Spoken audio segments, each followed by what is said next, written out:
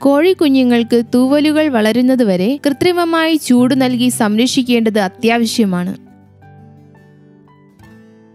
കോഴിക്കുഞ്ഞുങ്ങൾക്ക് നാലാഴ്ച പ്രായമാകുന്നതുവരെ ഇങ്ങനെ ചൂട് നൽകി സംരക്ഷിക്കണം.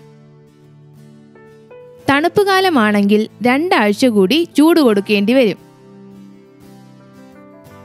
ഡീപ് ലിറ്റർ രീതിയിലോ ബാറ്ററി ബ്രൂഡർ ഉപയോഗിച്ചോ കുഞ്ഞുങ്ങളെ വളർത്താം.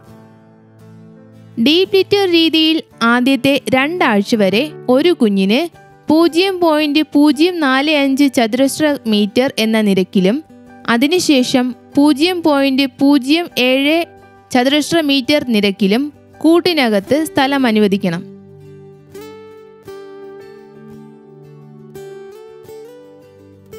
ഹോവർ അഥവാ ബ്രൂഡറിനുള്ളിൽ ഒരു കുഞ്ഞിന് ഏഴ് മുതൽ പത്ത് ചതുരശ്ര സെന്റിമീറ്റർ സ്ഥലം വേണ്ടിവരും.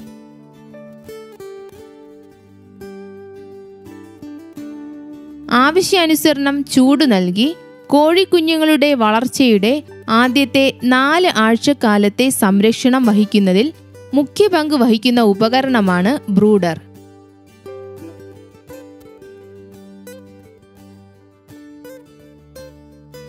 പലക മുളച്ചീൾ വീഞ്ഞപ്പെട്ടി അലുമിനിയം തുടങ്ങിയവ ഉപയോഗിച്ച് ഈ ഉപകരണങ്ങൾ നിർമ്മിക്കാം.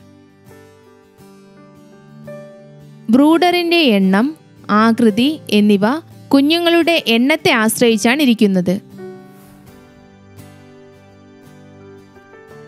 ഒരു മീറ്റർ വ്യാസമുള്ള ഒരു സാധാരണ ബ്രൂഡർ ഉപയോഗിച്ച് ഏകദേശം ഇരുന്നൂറ്റി അൻപത് കുഞ്ഞുങ്ങൾ വീതമുള്ള യൂണിറ്റുകളാണ് നല്ലത്.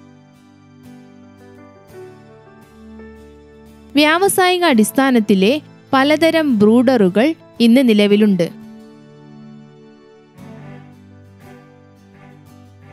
ചൂട് നൽകുവാനായി ഇലക്ട്രിക് ബൾബുകളോ ഇൻഫ്രാറെഡ് ബൾബുകളോ ഉപയോഗിക്കാവുന്നതാണ്.